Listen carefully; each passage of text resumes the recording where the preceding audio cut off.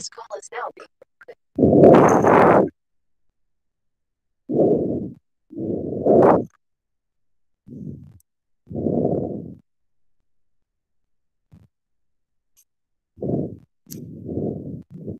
Hello everyone. I'm Rekha Murthy, Assistant Professor, Department of Electrical and Electronics Engineering from Sai Institute of Technology. Today I'm here to explain uh, related with the module 2 of the subject Power System Protection and the module 2 relates with the overcurrent protection and a part of the distance protection. So, the main outline today, what I'm going to discuss in this session is the introduction, time current characteristics, overcurrent protective scheme, reverse power or directional relay, directional relay connections, and directional overcurrent relay. So, these are the topics which I'm going to cover it up the introduction. So, as you know, that a protective relay is nothing but it is the one which is going to operate whenever the load current is going to exceed a preset value. That is called as an overcurrent relay. So, the value of this uh, preset current above which the relay operates is known as its pickup value. So, overcurrent relay is usually it will be a cheapest and simplest form of protection. So these uh, relays are mainly used for the protection of like distribution lines, large uh, motors, power equipment, industrial uh, systems, etc. So this overcurrent relays they are also used in some of the sub-transmission lines.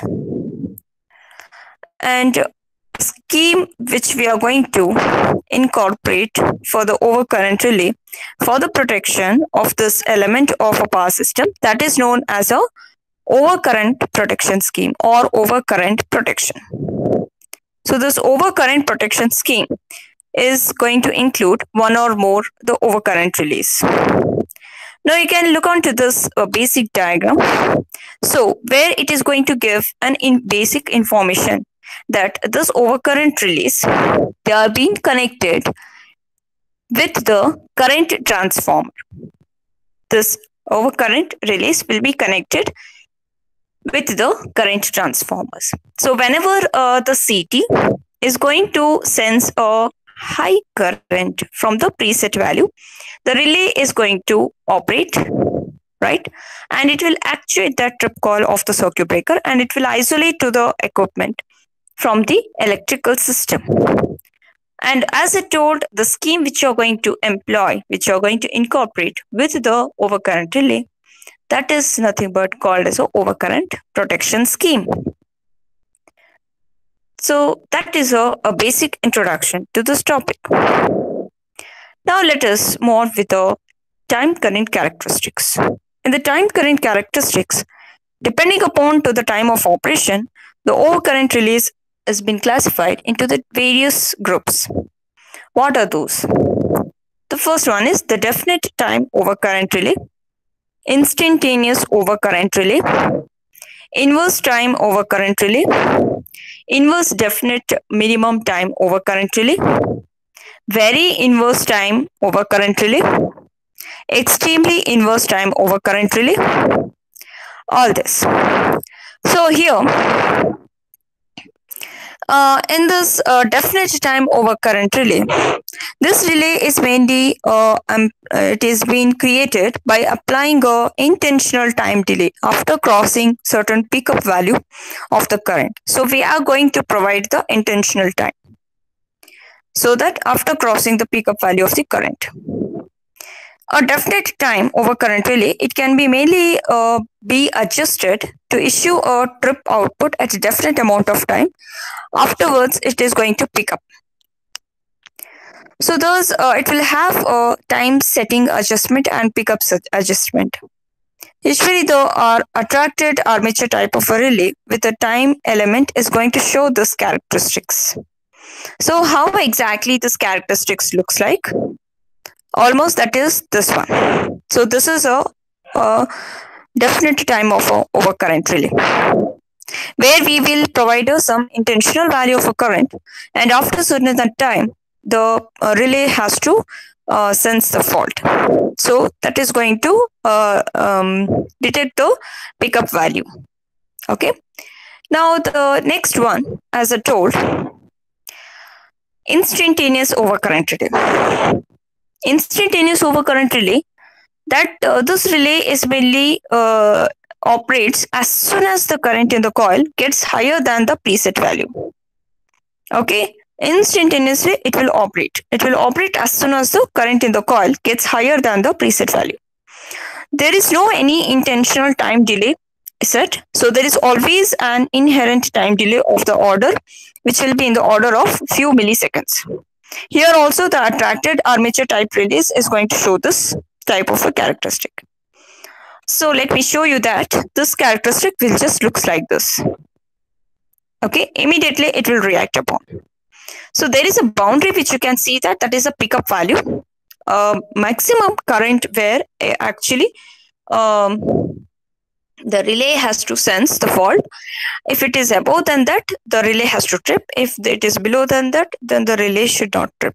That is a, a boundary for this. Now, uh, let me move on with the next type that is the inverse time of overcurrent relay. In the inverse time of overcurrent relay, we will find that this inverse time is a um, it's uh, this means that uh, time of operation is inversely varies with the input current. So here you can see its characteristic. How does it looks like? This is what a characteristic. So this me uh, here this characteristic of like a uh, electromechanical induction disc relay is very suitable for this overcurrent protection. So in this relay, if the uh, fault is more severe, it would be clear more faster. So that is a inverse time of a overcurrent relay. Okay. Next coming to the inverse definite time. In the inverse definite time, um, definite minimum time over current relay and uh, the very inverse time over current relay and extremely inverse time over current relay all these three of them will be uh, shown together so where you will find in that case in the IDMT relay. That is this type of a, a, relay is going to give an inverse time current characteristic which is at a lower values of the fault current and definite time characteristic at a higher values of a fault current. Okay? So that means this is a combination of the inverse time current characteristic and also a definite time ca ca characteristic. So inverse time current characteristic um, will be given at a lower values of fault current and a definite time characteristic at a higher values of fault current. Okay. Um, that is about the IDMT relay. So you can see the characteristic here, uh, which will be a comparison of three of these. That is very inverse time and extremely inverse. So in this case, uh, you will find that uh, IDMT will be above at the first and first you will be having a IDMT uh, characteristic. Below that we'll be having a very inverse time and uh, below the inverse, very inverse time, we will be provided with the extremely inverse time. So in very uh, inverse time over current relay, what will happen is um, a very inverse time over current relay will give more inverse characteristic than that of a plain inverse relay or IDMT relay. Okay, so its time current characteristic will be lying between an IDMT characteristic and extremely inverse characteristic. Okay, similarly, in the case of like extremely inverse time current character over time current characteristic. In that extremely inverse time over current relay it is going to give a time current characteristic which is more than the inverse than that the that of the inverse time and the IDMT relays. Okay? So that is a, a, a very extremely inverse time and uh, very inverse relays usually fail in selectivity and extremely inverse time relays are usually employed at that time okay that is about the special all these characteristics of the relays Now coming to the next topic. So in the next topic, uh, it relates with the overcurrent protection schemes. So in the overcurrent protection schemes, they are uh, widely used for the protection of the distribution lines. They are widely used for the protection of uh, distribution lines. If you consider, uh, like, if the fault occurs something, uh, there will be uh, three sections of a lines which I'm going to sectionalize, like A, B, C. Okay, so these will be the sections of the lines which you are going to consider onto the feeders which you can see that a feeder may be sectionalized and two or more overcurrent relays will be used. Okay, so let us assume that there will be uh, three sections. Uh, if the like called as A, B, and C, if the fault occurs beyond the C, okay, beyond the C, and make sure that everywhere in each of the section we have provided with the circuit breaker right. First the circuit breaker has to sense uh, i mean first the uh, relay has to sense the fault and it has to give a command to the circuit breaker right? Then only we can isolate the fault. So if a fault occurs beyond a c section then the circuit breaker at the substation c only should trip not the other. The circuit breakers at a and b should not trip as far as the normal operation is concerned. Okay, so suppose if the suppose if the relay at C is going to fail to operate, then the circuit breaker at B should trip as a backup protection. Similarly, if the fault occurs between the B and C, the circuit breaker at B should trip. The circuit breaker at A should not trip. Suppose if there is a failure of a relay at the section B, then the relay A should trip. So like that, it will be seen that the relays will be must be selective with each other. So for this proper selectivity of the relays, uh, we need to consider the schemes depending upon to the system condition. What are those schemes? The first is time current graded system and a combination of both time and current grading. Now let us discuss what is this time graded system. In this scheme, the definite time over current relays will be used. So when a definite time relay is going to operate for a fault fault current, then it starts a timing unit which trips the circuit breaker preset time, which is quite independent of the fault current. So here, the operating time of the relays will be adjusted in an increasing order from the far end of the feeder. Okay.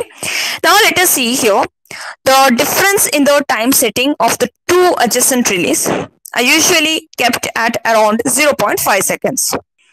Now this uh, difference is to cover the operating time of the relay and the errors in the relay and CT. Now let us uh, see here that with the fast circuit breakers and modern accurate relays, it may be uh, possible to reduce the time further to around 0.4 seconds also, or it can be a 0.3 seconds. Now let us take these three sections and analyze. Uh, whenever a fault occurs beyond the C, when the fault occurs beyond a C. Then all the relays will come to an action as the fault current flows through all of them. Of course, right? But here, what will happen? The least time setting is what where where do you find the least time setting? It is at the C point. At the C. So it operates after it operates after 0.5 seconds and the fault is cleared. Now the relay A and B are reset. A and B are reset. Okay. That is how the operation takes place. If the relay C fails, if the relay C fails, Okay, then the fault will remain uncleared. In that situation, what will happen? In that situation, which is the least uh, time taking between taken between the A and B, that is here. Comparatively to the 1.5 second, we will consider 1 second. There, the relay at B will operate and the circuit breaker at B, uh, B will trip. Okay, if the circuit breaker B also fails, suppose if this also fails, then after 1.5 second, the circuit breaker A will trip. But what is the drawback of this scheme is that for the faults near the power source side, the operating time is more, right? Do you agree? Operating time is more towards that power side, that is around 1.5 second. But here it is at the last towards the load, it is 0.5 seconds. So if the fault occurs near the power source, it involves a large current. Hence, it should be cleared very quickly. But in this scheme takes the longest time in clearing the heaviest fault, which is found to be an undesirable because the heaviest fault is the most destructive. So this scheme is suitable for a system where the impedance between the substations is low. Okay, fine. So this is all about the time graded system. Next coming to the current graded system. So in a current graded system, this scheme, the relay are set to pick up at progressively higher values of the current towards the source. So the relay, the relays employed in this scheme, they are high set or you can say it is a high speed instantaneous overcurrent relays. And here the operating time will be kept the same for all the relays which is used to operate which is sorry which is used to protect the different sections of the feeders. Here the current setting of the relay which mainly corresponds to the fault current level for the feeder sections which has to be protected. Now let us consider this example wherein um, here the uh, we can see here the relay at uh, B should trip for the fault anywhere between the B and C. But it should not operate for a fault beyond C. Do you agree? That is ideally. Similarly, relay at A should trip for a fault between the section A and B. The relay at C should trip, uh, sorry, the relay at uh, C should trip for a fault beyond C. That is all ideal operation. But this ideal operation is not achieved. Why? Because of many reasons. Because the relay at A is not able to differentiate between the fault, whether it is very close to B, which may be either on the either side of the B. If the fault is in the section BC, which is very close to the station B, then the relay A understand that it is in the section A, AB. This happens only when there is a very little difference in the fault current. If the fault current occurs at the, at the end of the section A and B or in the beginning of the section BC. That is one point. Second thing, the magnitude of the fault current, it cannot be accurately determined as all the circuit parameters may not be known to you. That is second point. Third point is, during a fault, there is a transient conditions and the performance of the relays which is not so accurate. So because of these three reasons, we need to prop we need to obtain a proper discrimination. So relays are set to protect only a part of the feeder, usually about 80%. That is why this scheme cannot protect the entire feeder. This system is not used alone. So it may be used in conjunction with the IDMT release. That is what we can see here. So the performance of the instantaneous release is affected by the DC component of the transients, which I shown in the first figure. So the error is been introduced by that uh, uh, whatever the DC offset components, which has been ca causes the relay to get overreach. So you will find there will be a higher value of X by R ratio and which will be a, of a great problem to the system. So a DC filter is mainly used to overcome this problem, right? Um, so this is how about the current uh, graded system. So this is used, the scheme is used where the impedance between the substation is sufficient to create a margin of difference in fault currents. So the advantage of the system as compared to that of a time graded system is that the operating time is less near to that of a power source. That is what the advantage of this. Okay. Now coming to the combination of current and time grading. This scheme combination of a current and graded uh, grade. Uh, in that scheme is widely used for the protection of the distribution lines. IDMT uh, relays are usually employed in the scheme in the case of a combined cases. So they have a combined features of both the current as well as a time grading IDMT relays, which will have a current as well as a time setting arrangements. So the current setting of the relay is made according to the fault current level of the particular uh, section to be protected. And the relays are set to pick up uh, progressively at higher current levels towards the source side. And the time setting is also being done in a progressively increasing order towards the source side. The difference in the operating times of two adjacent relay will be kept around uh, 0.5 seconds.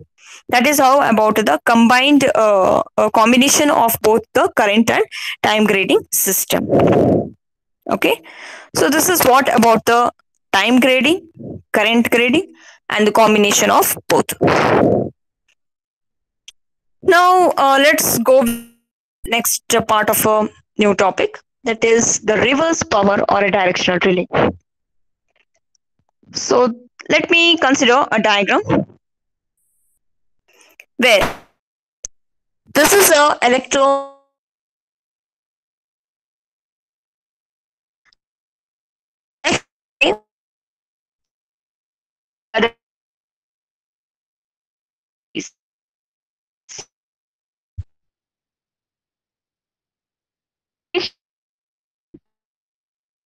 So here the fluxes, uh, uh, two fluxes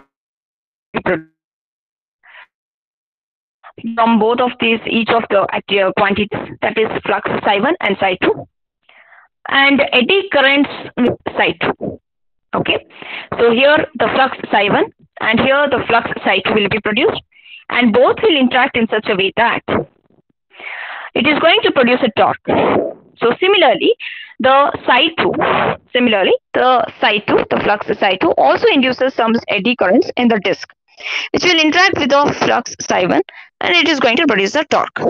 So that resultant torque is going to roto the torque which is uh, the uh, the torque which is produced it will be proportional to that of both of these quantities because due to these two quantities only uh, you can flux can be produced right so therefore the torque will be proportional to v into i into cos phi where cos, uh, psi is nothing but it is a phase angle between the v and i so the torque is maximum when the voltage and current are in phase.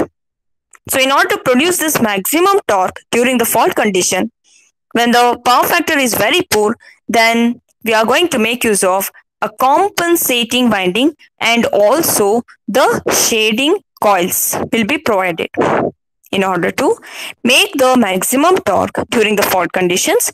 The power factor will be very poor. That is why a compensating coil a circuit and as well as a shading coil will be provided here. Okay, uh, as uh, we had discussed in the previous modules that uh, torque which is produced by an induction relay will be given by T is equal to psi 1 into psi 2 into sine theta which is directly proportional to that of I1 into I2 into sine theta where the flux psi1 and psi2 are the fluxes. Okay. And uh, the angle which is between the psi1 and psi2 or I1 and I2, it will be theta. If one of the actuating quantity is voltage and the current flowing in the voltage coil, it is going to lag behind the voltage by an angle of 90 degree. So let us see that phasor diagram. Assume that here uh, let us say the voltage V and the current I1 which is uh, flowing in one of the coil and that is nothing but the current coil that is a lower part of the U shaped uh, electromagnet. So that is the current I and I2 is again further lagging behind the voltage V. The load current I1 lags the V by an angle of psi. Then the angle theta between the I1 and I2 is also equal to 90 degree minus psi. So due to this, we will get torque equation as I1 into I2 into sine of 90 degree minus psi, which is again directly proportional to that of, which is again directly proportional to that of I1 into I2 into cos psi, which is nothing but again it is directly proportional to that of V into I cos psi. Okay. So here an induction uh, uh, move on with a, an induction cup type of uh, construction where the induction cup type of a directional relay that is also used to produce a torque which is proportional to that of vi into cos phi. So let us go through that uh, type of uh, the directional relay. Okay, this is an induction type. Here, uh, two opposite poles this is one and this is another two. This is north and south and here also north and south. So two opposite poles are energized by the voltage coil and the other two poles again they are energized by current. You can, which you can observe here. Here voltage is a polarizing quantity. Voltage is a polarizing quantity. And the polarizing quantity is the one which is going to produce a one of the two fluxes the polarizing quantity will be taken as a reference with respect to the other quantity, which is nothing but a current in this case. Okay, which is nothing but a current in this case. Now, the interaction of these two quantities, again the flux will be produced and you will find there will be an interaction between the two fluxes. Then the torque will be produced. Torque which is produced is positive when, when the power factor is positive. That means the value psi should be less than the 90 degree. Whenever you find the psi is more than the 90 degree, then the torque will be negative. How it is, you can see. For example, this is the what the voltage be, which we have taken it as a reference. And here you are going to get uh, the normal uh, condition, we will find that the negative negative torque is produced. How?